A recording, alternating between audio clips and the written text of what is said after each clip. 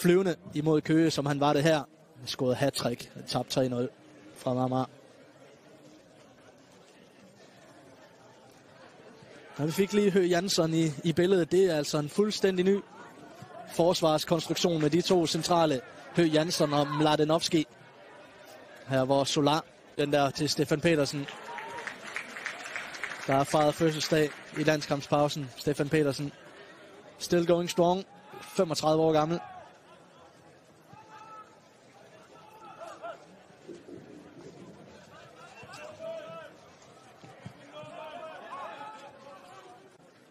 Til en startplads for Frem Amager. Det har han fundet i, i HB Køge i stedet, og spillet alle kampe som lejesvend den her sæson.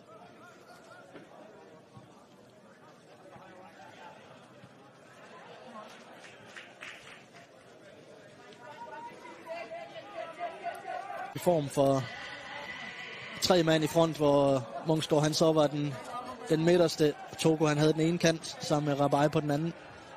Det her er lidt anderledes, mere centralt bag ved angriberen.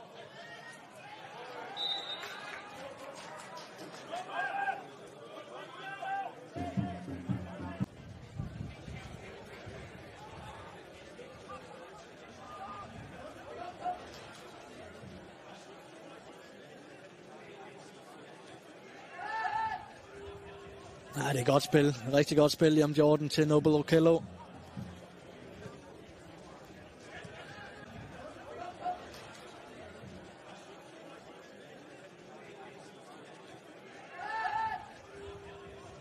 Godt spil. Rigtig godt spil, Liam Jordan til Noble Okello.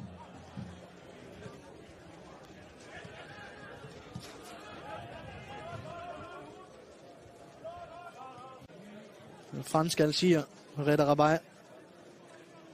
Den spiller i sidste sæson, der blev vist ud allerflest gange. Tre røde kort.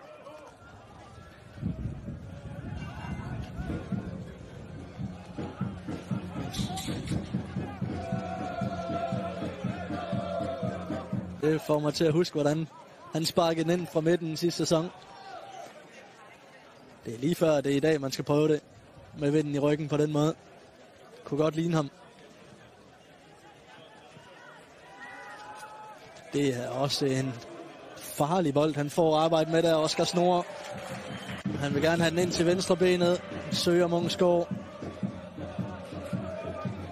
De har meget godt styr på dem, HB Køge. Det er sådan set heller ikke, fordi defensiven den har, har vaklet den her sæson.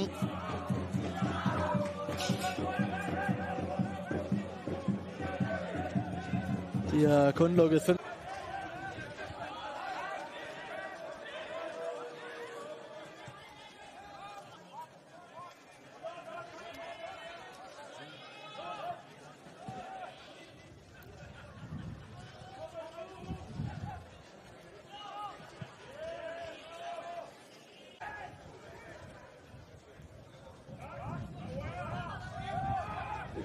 Stefan Petersen søger muligheder for hjælp her af Okello.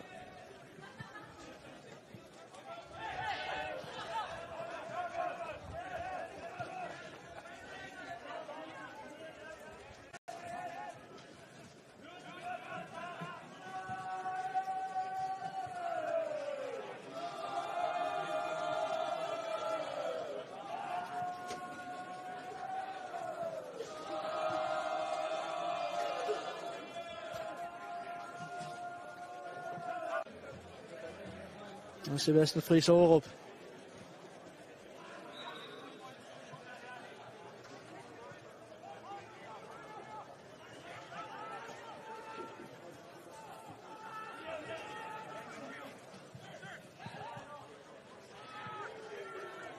Synes jeg. Ikke noget hadski, at han sparker bolden derhen.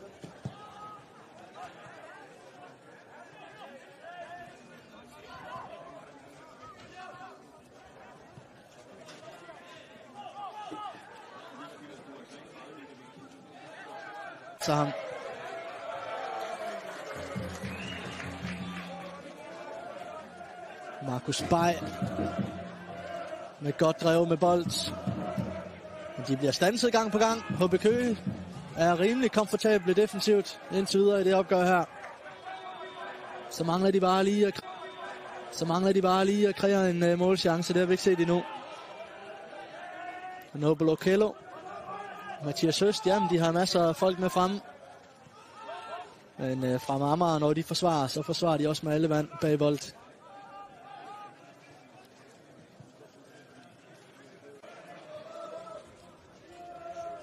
Altså en fin boldomgang, de viser i dag, HB Kø. Fra Amager er et hold, der, der er rigtig dygtige i presspillet. Men det får de altså sådan set håndteret rigtig, rigtig fint, HB Kø. Jeg siger så selvfølgelig lige, som Wörth, han smækker nu over sidelinjen op 6.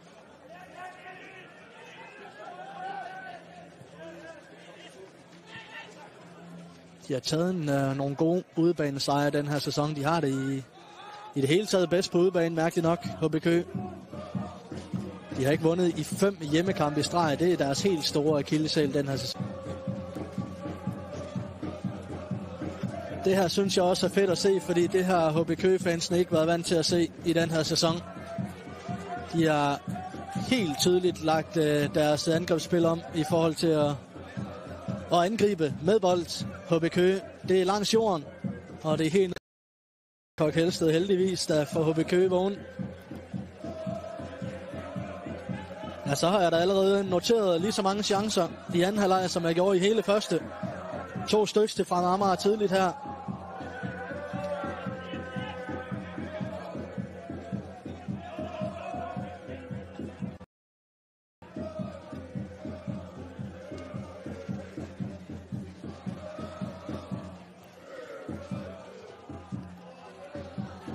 Der er lidt mere den opskrift, vi har været vant til at se i den her sæson. Den lange bold op på Kok Helsted, og så starter spillet ligesom derfra for HB Køge. Det har været øh, opskrift.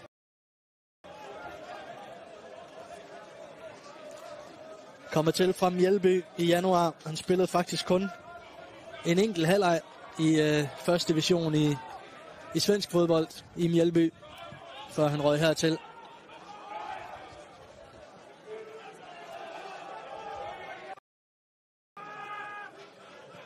Det er ikke fordi, at han er blevet sat på arbejde overhovedet endnu. Selvfølgelig også lidt alarmerende for HB Køge, at deres bedste mand på banen, jamen det har været Oscar Snor. Lad os nu se, om det ændrer sig. Martin Kok Helsted sparker lige ryggen på Mladenovski, så er det Juti.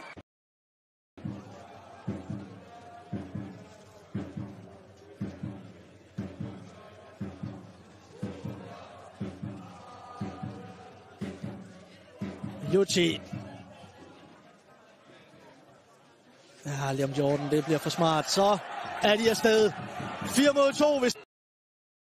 Ja, en bold, der ligger lige imellem Pierre Larsen og Toku. Ingen af dem får fat i den.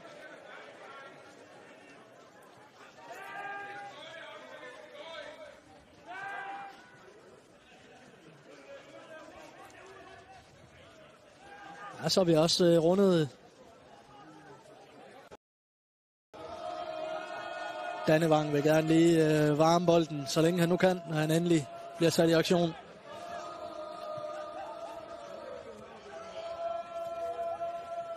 Okello ude på Jordan.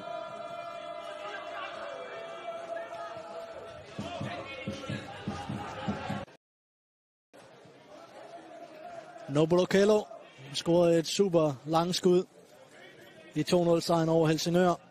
Den her, den vælger han at vende. Yuchi. God bold den der til Stefan Petersen. Cutback imod netop Borkello. Markus Bay med hjem. Rabai og, og Kasper Fisker ganske glimrende. Selvom de er som sådan en mand i undertal derinde.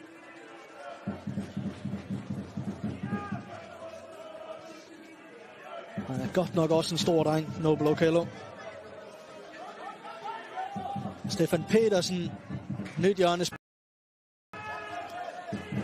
Shubril Adedeji glider af på Solar. Og så en håbløs aflevering ud mod Gundelagt. Bliver nødt til at stoppe op i sit løb. Okello. Ind i hovedet på Mladenovski.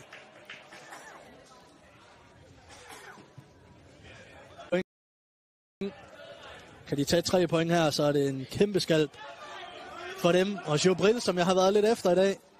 Simpelthen fordi hans talent, det, øh, det lugter meget mere end det output, han er kommet med. Nu har han scoret.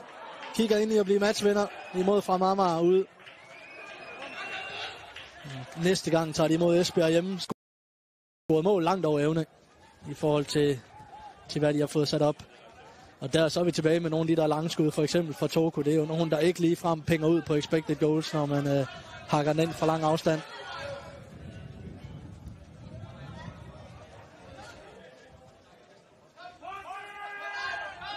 Med, med hælen af Conboy.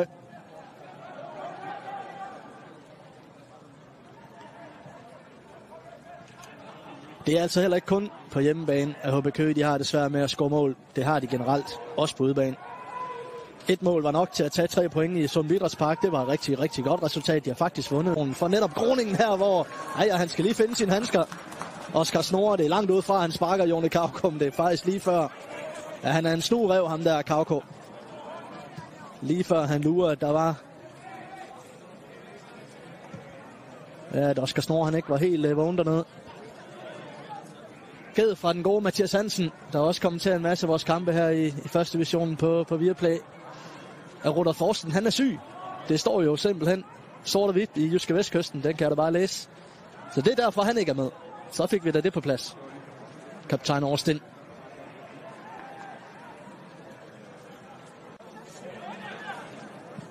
Værts og Gomes dernede i det centrale forsvar. De spillede en superkamp i Sund Park. Det skal man for at holde frem Amager fra at score mål. Det gjorde de fremragende. Mathias Høst kigger efter Kok Helsted. Finder ham ikke her. Oscar Snor, Eddie Gomes og Værts, Magnus Værts. De tre så ud til virkelig at have fundet et rigtig godt markerskab dernede. De har en rigtig stærk defensiv HBK. Det er øh, flad 4-4-2. Good old school fra Aarhus Gabalius, han stiller op med. Der bliver ikke kun et mål færre end, øh, end Fredericia, eller mere end Fredericia, har lukket ind på andenpladsen i øjeblikket. Så defensiven, den spiller. Det handler bare lige om at få offensiven til at gøre det samme. Jobril her har kun skåret et mål i sine 12 kampe. Det er selvfølgelig ikke nok. Det ene mål, det var i sidste runde. Kok Helsted er deres topscorer med tre mål. Det lyder jo ikke øh, faretroende.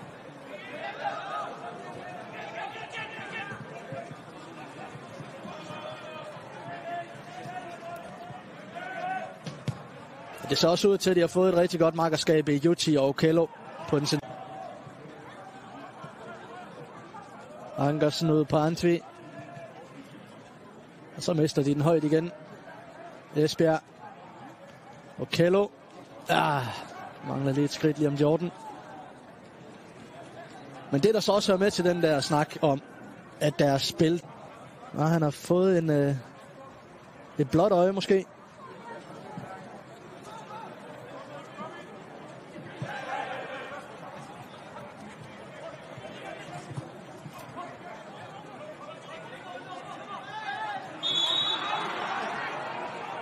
Det viser at igen Clinton Ansvi, der kommer op på den der venstre kant, som han har gjort det så mange gange den her sæson. Og han gør det så godt. Sætter sine holdkammerater op her for han Ankersen spillet fri. Og fin afslutning også. Men øh, Oscar Snore på plads. Eddie Gomes, der jo selvfølgelig har fortid i Esbjerg. Han rykkede fra HB Køge til Esbjerg i 2014 nåede lige at spille en lille sæson i Esbjerg, før det, det så hed Kina. En lukrativt aftale, han fik der. Og spillede der i mange sæsoner, Eddie Gomes, der giver det ånd. Og så her. Ja, der er også meget trafik. Den er svær at sparke ind. Karko med chancen.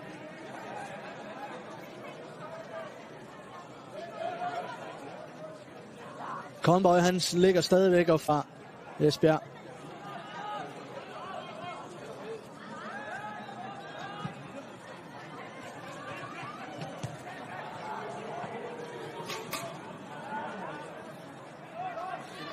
Jobril ind på Kauko. Biril ind på Kauko.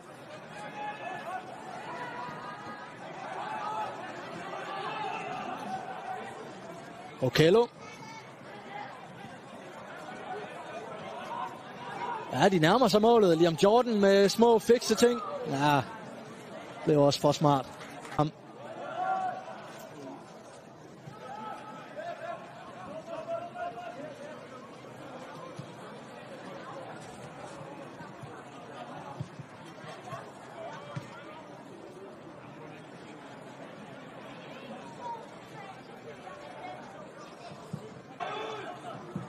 Her Kickenborg får faktisk at vide, at han skal sparke den ud. De spiller stadig i undertal, fordi at øh, Stefan Darlykke, han er stadigvæk ikke kommet ind.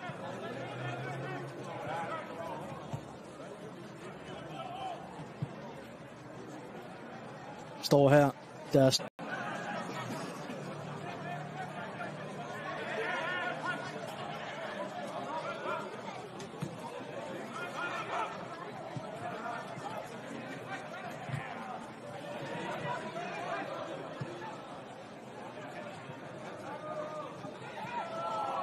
er vigtigt. Han får en fod på den. Convoy, det gjorde han.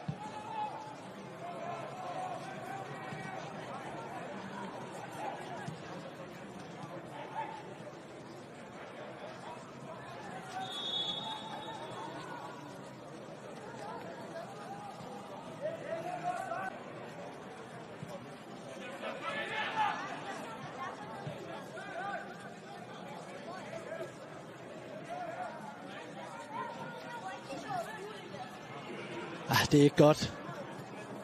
Samarbejdet mellem Yuchi og Okello her. Og gerne tre. Det betyder jo altså også, at de går på julepause med en, øh, en kamp i hånden. De har ikke lige fået den kunne klemme ind, den der. De mangler op i vendsyssel. Det er også et, et tæt program. Op og presse bærste mand. God bold, den der for Stefan Petersen. Så er der plads til Mathias Høst.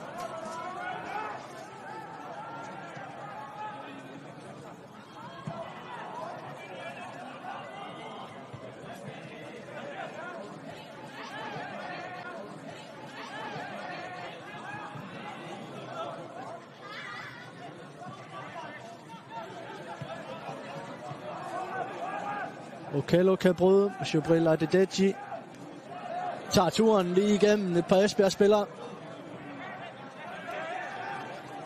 Holdbehandling der, Tranberg.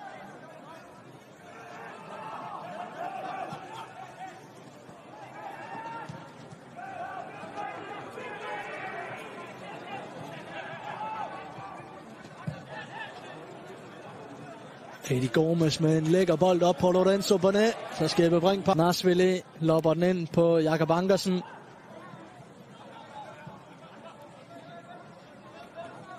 Ankersen.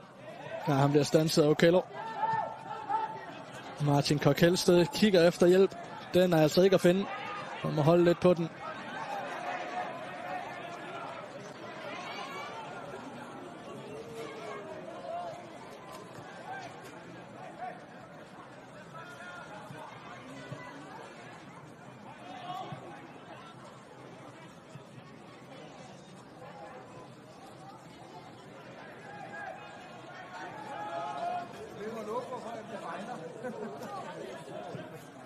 Songusi, han lægger sig med det samme op ved siden af Martin Korkelsted. Så tror jeg faktisk, det er Liam Jordan, der går ned for at spille bak. det er vildt nok. Fra angriber til bak. Men de har nok også luret ude hos... Øh, det, det er nok ikke fordi, at, at Esbjerg de kommer til at sådan 100% at gå efter 3-0-målet heller. Så nu kan man lige så godt satse.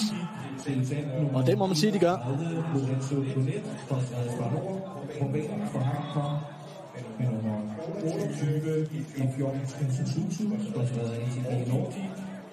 Det bliver farligt hver gang.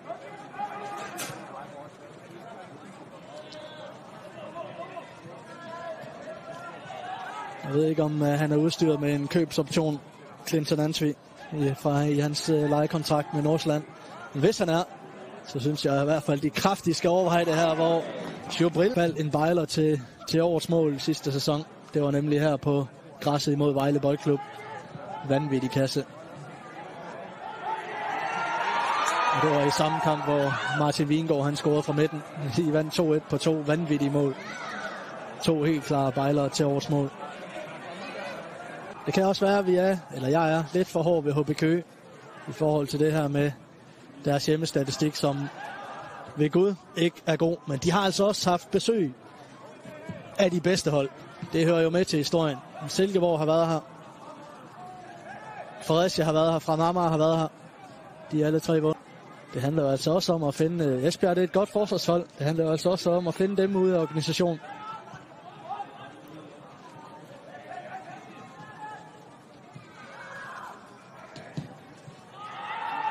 Med de tre point, de er ved at vende sig her, så er de altså stadigvæk rækkens bedste udhold.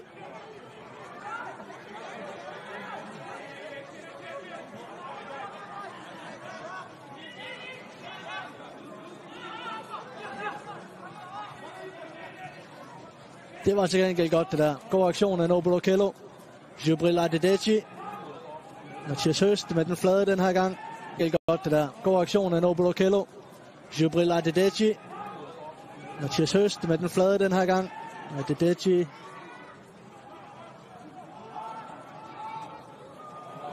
Ja, det er fikst. Det kunne ellers have været flot, hvis han helt flygtede på den der Yuchi. Og satte den op i krogen.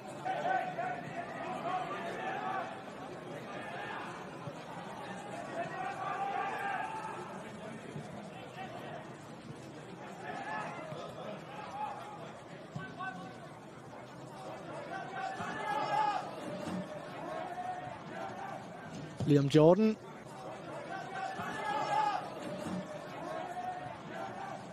Liam Jordan. Om på bagerste, der ligger Jubrila Didetti. Martin Kok er der også. Nobel Okello. Og så bliver det Jutsi, der afslutter. Ja, han får da i det mindste sat Kickenborg på arbejde. Men han er ikke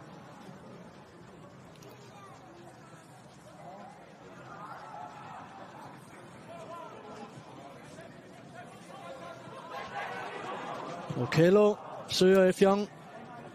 Den bliver for lang for ham at løbe op. Ja, kedelig omgang. Hansvi. Vi se, der er lagt et enkelt minut til. Jakob Ankersen forsøger at glide igennem.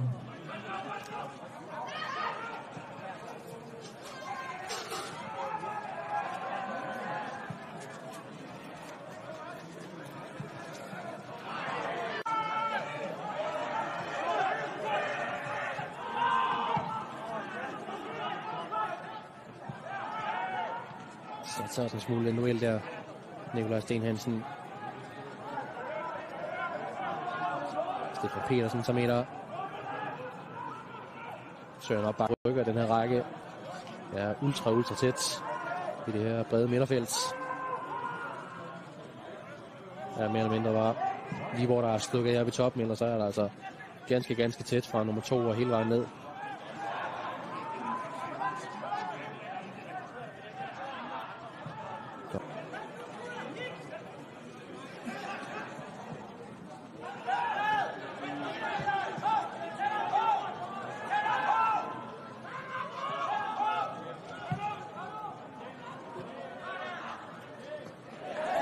forsøger den lige der. Stefan Petersen, han var altså også lige stempet i modspil.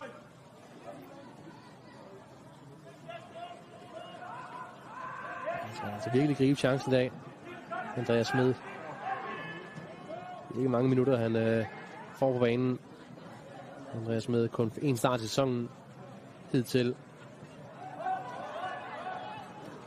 I dag her, hvor øh, Martin Kok altså er fraværende.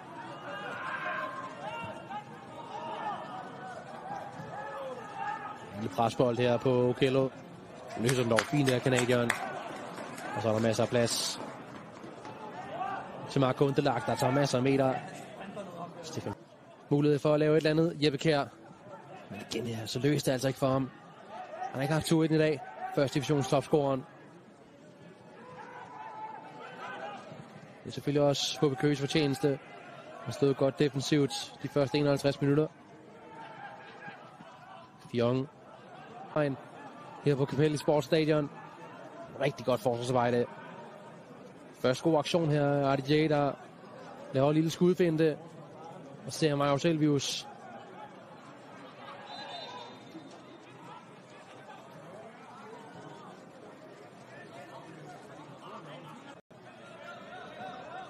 Stefan Petersen. Gundelag med sig. Stadig Stefan Petersen. Kello. Juti. Det kan til skud, men ikke nogen præcision i den afslutning der overhovedet.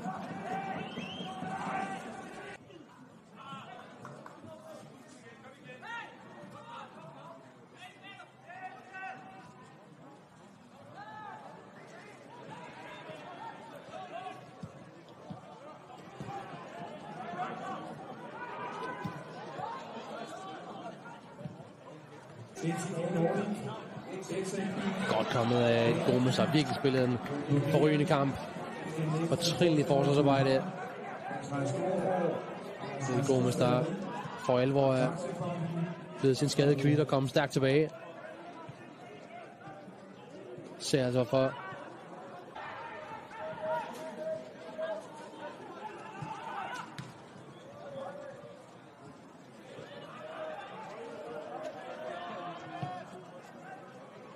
så tripper nede for at komme på banen. Skal bare lige have et spilstop, så kan de altså få foretaget de to sidste. Igen Karl Lange på spil. Videre til McCowett. Ja, det er altså ikke siddet lige skabet i dag for New Zealander. Er blevet rykket længere frem på banen nu. Efter man har rykket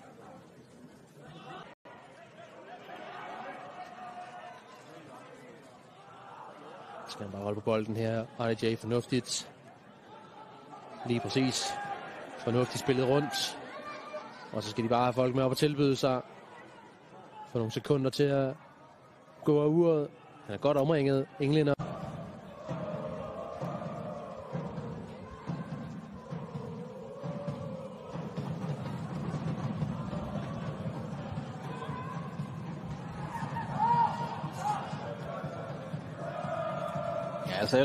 Det er første gang, vi har gæsterne op på Viborgs banehalvdel lige i Viborg Forsvaret.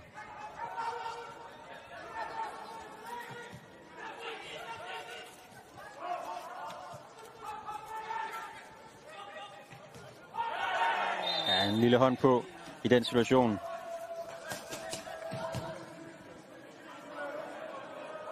Måske i anden og tredje. Grønning her kan altså måske finde Bæk helt modsat. Ikke i den her omgang.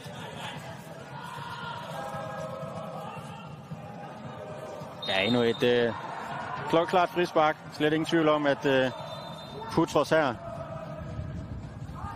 indbyrdes opgør i den her sæson, som altså blev øh, til 3-0 nederlag for HB Køge. Så der er selvfølgelig noget stolthed i det også, at man skal have rettet op på.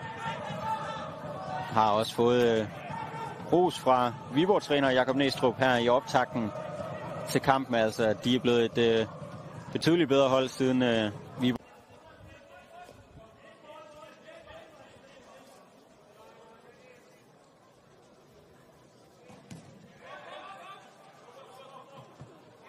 Naturligvis en lang bold mod Tornhøj og Kjello derinde, der skal ind og erobre for gæsterne.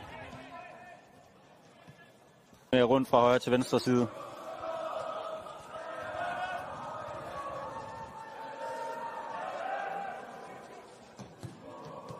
Hele kig sig fra Lucci. Går heldigvis for HBK ikke helt galt.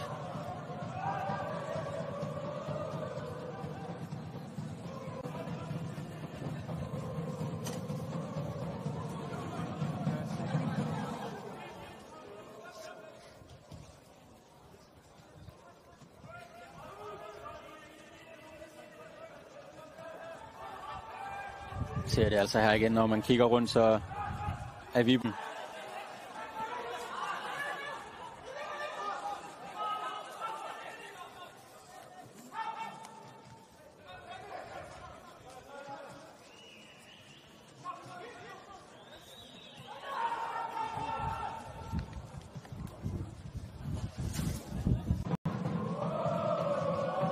Køge her i første lille halv time, der ikke rigtig har formået at sætte øh, angriberne Martin Kok her, der lige kommer på bolden. Har altså ikke rigtig været i spil indtil videre i den her kamp. Jo hans vej, de plejer at kigge mod, når der skal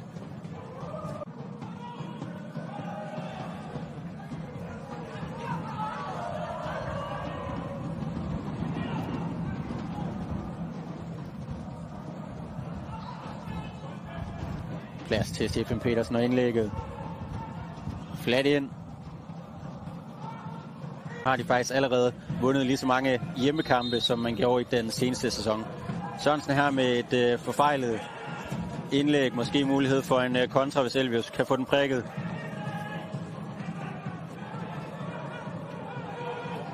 Ja, lidt tilfældighed her. Ikke rigtig nogen, der kan få kontrol over bolden. Sørensen her med et øh, forfejlet indlæg. Måske mulighed for en øh, kontra, hvis Elvius kan få den prikket.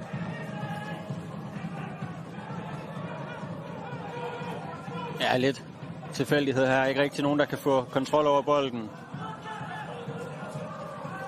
Klokkeklart. Frispark. Er det det,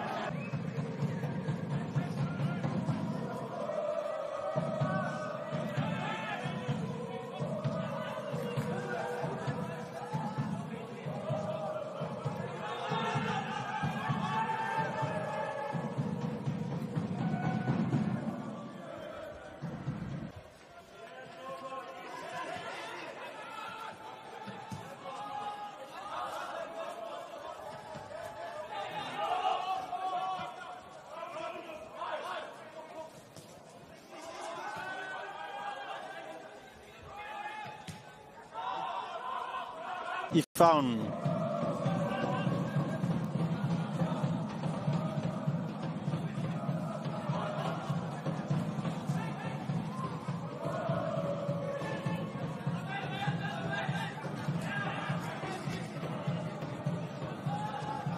Ja, de får altså...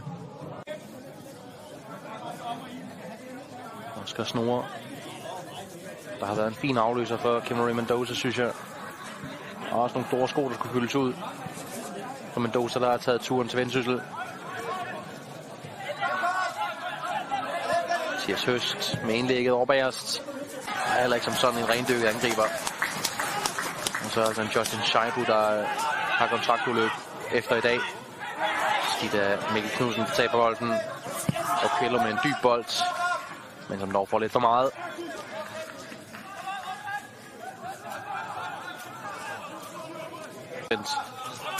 I gennemsnit over hele efteråret. Og så lange boldbesiddelse, man har, hvor man kommer op omkring de 45 sekunder til et minut. Så der de også mange boldtaber. Det er altså endnu et af slagsen. Mark Gundelak, der tager masser af meter. Tålmodigt, opbyggende spil af HB Køge.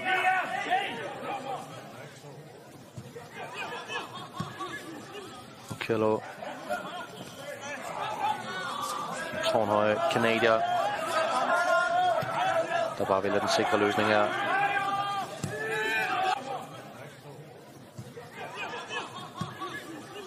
Kello. Tårnhøje kanadier, der bare vælger den sikre løsning her.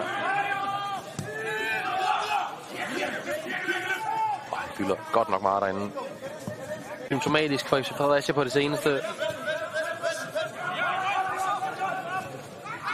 Især sidste kamp her på græstæppet, hvor man også tabte 1-0 til HB Køge. Eller undskyld, til Hvidovre selvfølgelig. Der var altså også med 1-0, man tabte mest ned omkring Oskar Snore her. Og heldigvis også for kampens skyld en scoring og varme os på. Jeg tror bestemt ikke, vi har haft den sidste scoring i det her opgør.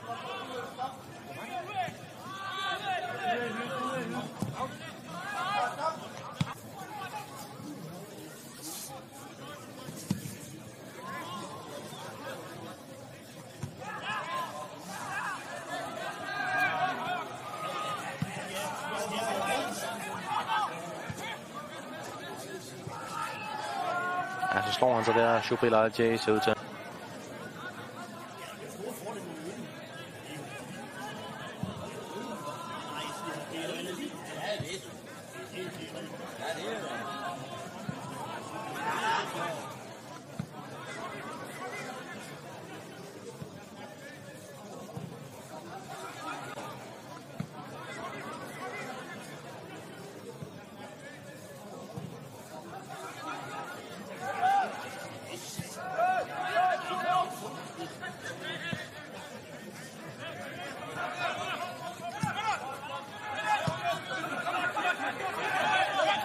for Fredericia.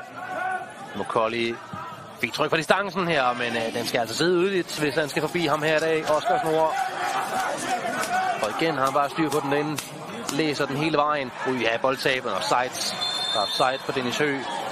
Og det vil altså lige ved at blive rigtig, rigtig farligt. Næsten ikke noget at sætte en finger på. Vi selvfølgelig gerne have lidt færre chancer imod, men det er altså også fuldstændig efter statistikkerne.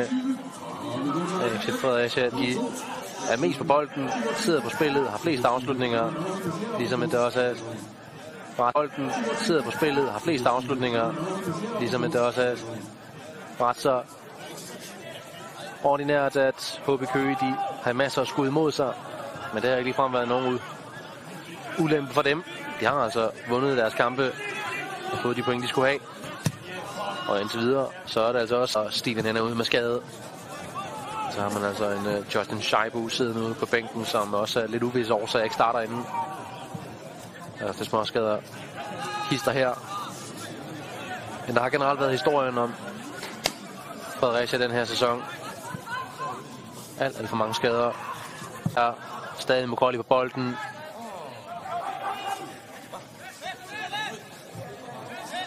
Skal han bare ekspederes væk der. Øh, Et Gomes. Og så noget en papir der fra Aukello. Der sparker den op til icing, hvis man bruger de termer.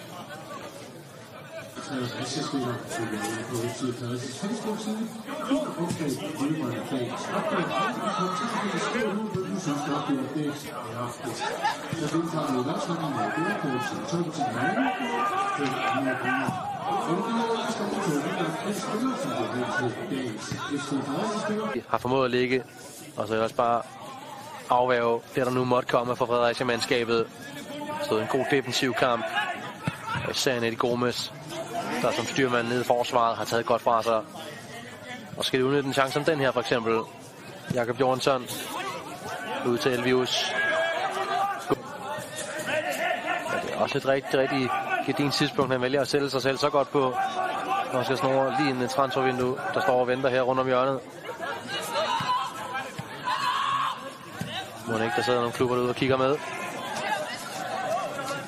Med den præstation, han har lagt for dagen i hvert fald, så, så kunne jeg da godt forestille mig, der kommer nogle klubber og kunne være interesseret i at lægge et bud på den 21-årige Oscar Snore. Kom til her fra Lyngby i sommer.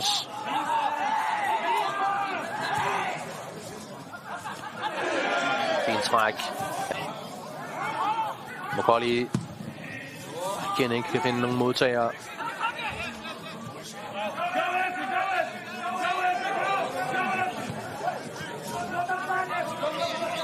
Martin Kok har tid og plads, har to mand med sig, en af dem er Fionn. Fionn, stadig Fionn til halvdel. De er trætte. Unjetika lægger den videre til Shaibu, stadig Unjetika. Og så kommer den altså igen ikke frem til noget. Men øh, som om, at de ikke rigtig følte den der kontrachance 100%. De stod øh, fem mand tilbage og bare blev stående på egen banehalvdel. Jeg ved ikke lige hvorfor, at de ikke tog turen med frem.